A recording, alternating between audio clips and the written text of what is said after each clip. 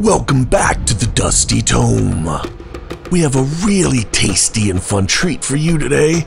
It's a wonderful little creeper called The Frantic Frank and the Perpetual Motion Machine.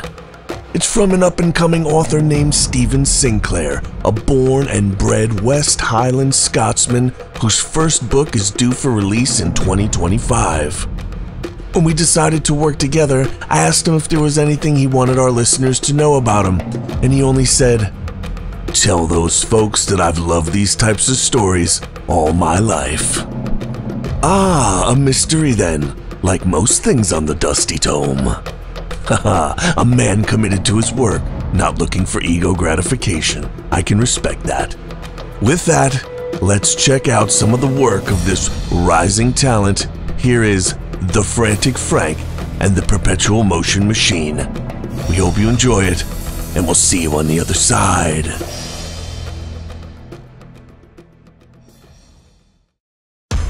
The Frantic Frank and the Perpetual Motion Machine.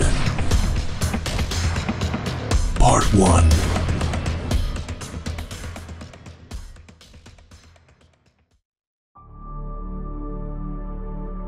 The alchemist didn't like to think about England anymore. This was because it made him also think about his last employer. Thinking about him made the alchemist want to simultaneously get on his horse and ride into some deep woods and hide, whilst also madly needing to use the privy. He thought this was very apt because the principality in Thuringia, where he now lived, consisted, by and large, of both these things, in his opinion. The entire place was backwards and wretched. The great peasant rebellion was still just within living memory. The poor devils had wrongly believed that Luther's teachings would get them a better life. They had made the mistake of hoping for something, and when it didn't materialize, they had risen. His current employer's grandfather had crushed them without mercy, and been congratulated by Luther for doing so. In parts of the principality, they were still locked up in barns in the evenings as if they were beasts of burden. Whilst not giving a fig about this one way or the other, the alchemist could understand the sentiment of wishing to escape from the place. He stayed mainly because it was a good hiding spot. More importantly, the prince was his employer and patron. Men like him could not live without a patron. The prince was a tow-headed, jug-eared, spotty-faced little pig of 18. When he laughed, he brayed like a donkey with a German accent. Usually he laughed at the misfortunes of others that he had inflicted, but he was a patron for the alchemist. Also, an idiot. This was useful. Mainly men like the alchemist were really employed to make flashes of fire and colored smoke at social gatherings in the castles of nobles, and to talk about the things and forces virtually all people believed lurked unseen in their world a world devoid of even the notion of electric light. A still dark world, and still over huge areas empty of humans and human understanding. To talk about these things well and look the part, the alchemist was good at this. There were, of course, other things base metal into gold, the elixir of life, the language of the angels, here, he and his kind walked a tightrope. They could not promise too much or too little. The alchemist had promised too much. Part 2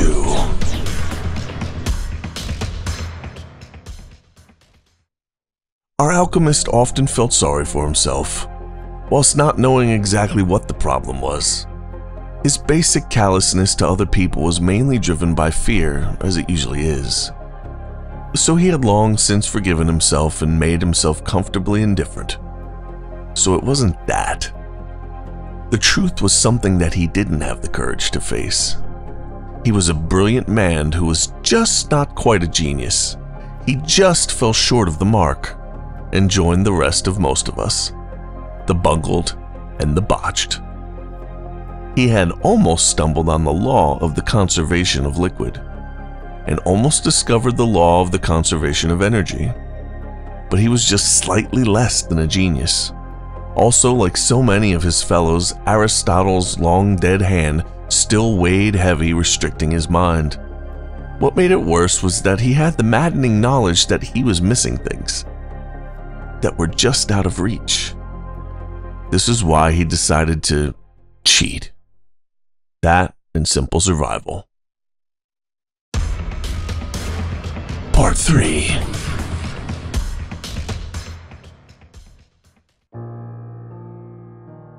He had been talking to the prince one evening. The alchemist had been giving forth about how the element earth naturally wanted to settle in its proper place, just as fire, air, and water wanted to settle into theirs. Naturally. In the case of earth, this was to fall through air and settle on the ground in hollow places. They had both been rather drunk, and the alchemist had desperately tried to explain that he suspected that there was something else at work. Something. A kind of universal, unifying force. This was undoubtedly the alchemist's greatest moment of almost greatness. Nobody had until then suspected that such a thing as gravity existed but he explained the concept badly, and he didn't fully grasp his own idea anyway. The prince had given his horrible braying laugh, uncomprehending. Partly to save face, and partly because he forgot to be cautious, the alchemist had mentioned that it might be possible to trick nature. By using substances that consisted of mainly earth, and therefore wanted to fall, you might make them fight. Try and countermatch each other, and with a system of cunning counterweights create a movement that would be unending. A perpetual motion machine. It would, so the theory went, go on moving by itself forever, unless outside forces stopped it. And a big machine could power the movement of other things. The prince had been widely enthusiastic. He pointed out that he had plenty of iron ore in my mines in the Thin World Alps but no good rivers to turn the lathes and drive the bellows. Plenty of torrents from the mountains, but they fail after a month or two. We must then sell the metal to others to work, and we are robbed. I've always believed the way to riches for us is to make the principality the big producer of cannons. They would come from everywhere, and I am a forward looking fellow. I would even be happy for the Sultan and the Tsar to be my good customers. This didn't surprise the alchemist. Who knew what a little swine the prince was? You, sir, said the prince, will make me a perpetual motion machine. We will then make others and become the great producer of guns. You will not simply promise, you will do. The alchemist had seen a certain look come into his employer's little blue and too close together eyes. I am aware that my little country does not please you. Perhaps you find us dull. It is of no importance. If you succeed within the next 12 months, after that you can leave us with a purse of gold and our best wishes. You will not be closely watched, unless you feel it necessary to go near the frontier. However, if you don't succeed, you will be taken to the dungeons and introduced to a machine that most certainly does work. Something left over from the unhappy time when we were still under the Babylon Church. It was used by the Inquisition. It's called the Judas Cradle. A silly maid who rejected compliments, I wished to give her made its acquaintance only the other day. Only it rocks men to sleep in a different way. We will see if this creates for you another unifying force. I do not like people who think they know things the great ancients didn't. Make me like you again. The alchemist knew exactly what a Judas cradle was. He had no wish to see one. He still thought the prince was a fool, but not, unfortunately, a big enough one. He set to work the next day. Part 4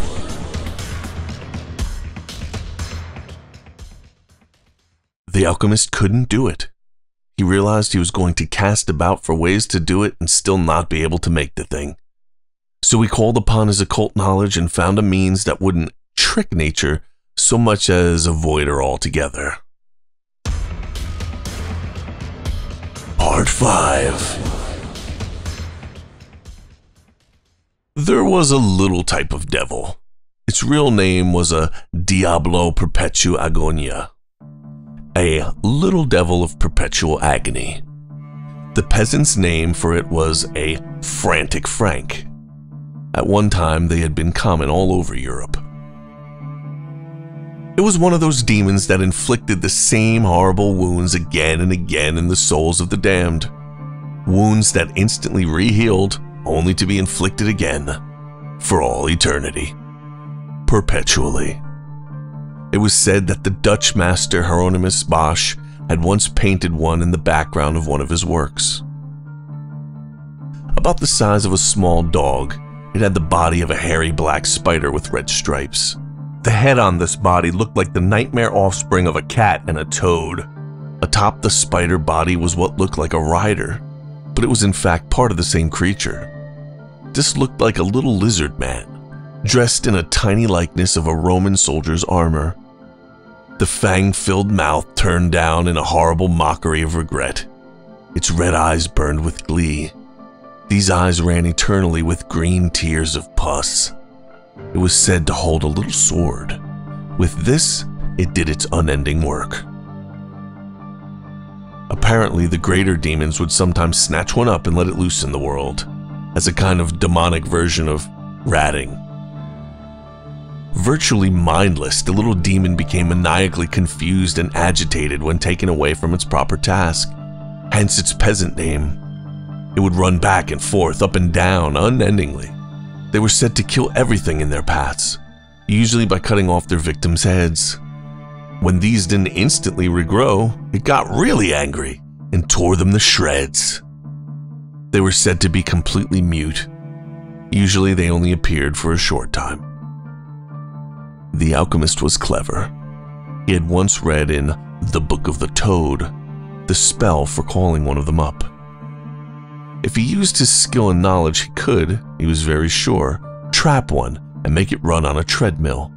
Because it was a supernatural being, it would, he reasoned, never stop. He would hide the wheel and the eternally running demon inside a box. The eternally running little devil would turn a crankshaft that cunningly emerged from said box. A frantic Frank was reputed to be incredibly strong. He could make the prince an impressively big perpetual motion machine.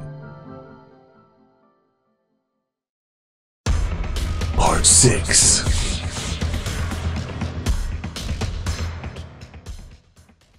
The spell involved catching 33 robins. This had been time consuming, but not impossible. He bribed some of the castle servants to help him. He had no intention of having a close look at the Judas cradle. The little birds then had their legs, beaks, and wings tied tightly with the hair from a donkey's mane. He then put them inside small cages and let them starve. These birds in cages he then buried in shallow holes under trees all over the surrounding district, carefully marking the trees with ominous cryptic symbols written in the donkey's blood. All the time whispering the old saying, A robin redbreast in a cage puts all heaven in a rage. He had already by this time completed the machine. The treadmill inside the box was also covered with esoteric symbols.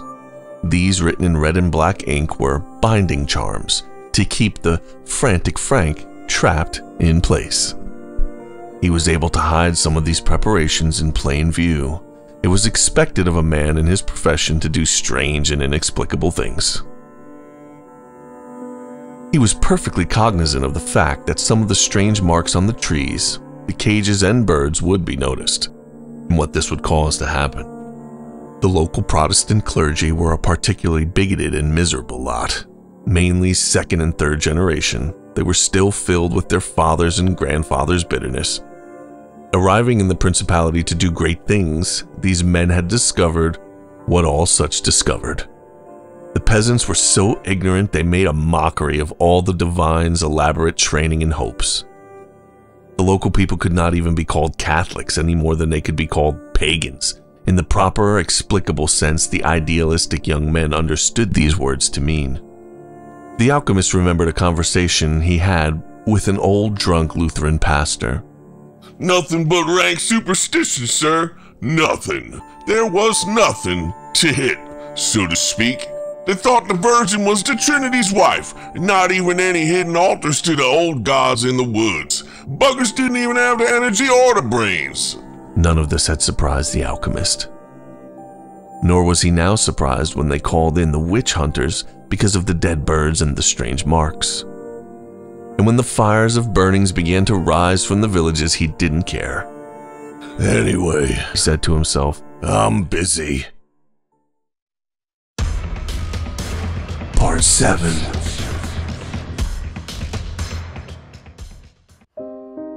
To make the machine extra impressive, he attached a huge chain that lowered and raised a stone block. The wheel on the outside was hung with more chains that ended in heavy cannonballs. These, he told the princes, were the counterweights. They did, in fact, absolutely nothing, except look like cleverness. Inside the box, the alchemist claimed there was a huge clockwork mechanism. He drew up elaborate plans of this supposed wonder. In those days, clocks still had no hands and only ranged the hour. They were still considered what would now be called high technology. He said that opening the box would disturb it disastrously and stop the movement. He had successfully trapped a frantic Frank on the treadmill. After the preparations, the actual ritual was easy. The alchemist had climbed up a ladder and looked through a peephole he'd made. He had almost been sick at the sight, almost collapsed. He had to drink an entire jug of strong wine. It had been busily scuttling on the wheel, crying its horrible tears. These splattered steaming against the wood and disappeared. The demon was bigger than he thought it would be. Fortunately, the wheel was big enough. Before the prince and the other fools discovered the truth, he would be long gone. All the fuss and excitement would help his escape. Part 8 Conclusion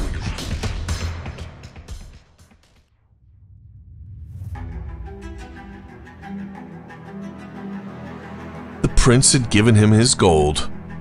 He had presented the prince with the machine's supposed plans.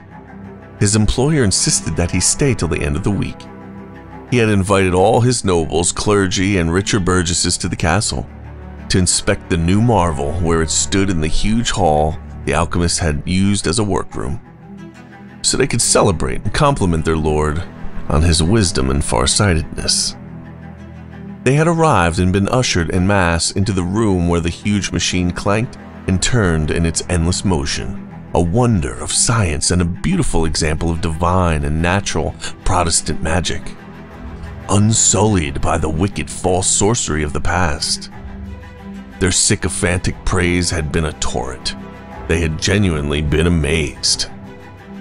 Unfortunately, there was, of course, something the alchemist had overlooked. Although a frantic Frank's unnatural satanic green tears disappear, they don't do this instantly. They are also slightly acidic. These had now eaten away some of the warding charms that kept it imprisoned. It happened suddenly. Like a bullet from a gun, the imp exploded from the box. Bits of shattered timber beams blocked the only doorway. Streaking about the room at quicksilver speed, the frantic Frank raced about, chopping off heads. Blood fountained everywhere. It became enraged when these heads didn't grow back like they were supposed to. The place became a charnel house of the principality's grandees. The little devil wasn't discriminating. It chopped off the prince and the alchemist's heads along with all the others. Then it disappeared in a puff of green smoke. The perpetual motion machine was still. The end. Wow! It turns out Frank really was frantic. I'm crossing that guy off my list of demons I'm going to summon with the kids for fun. I really love that little ditty, so let's inspire the mysterious Mr. Sinclair to return to the Dusty Tome and leave him a comment below, letting him know your thoughts on the Frantic Frank and the Perpetual Motion Machine. Thanks to Stephen for a wonderful collaboration, and thank you for listening. Please like and subscribe if you enjoyed the content today. It really helps our little channel to keep doing what it's doing. And we'll see you next time we open up the Dusty Tome.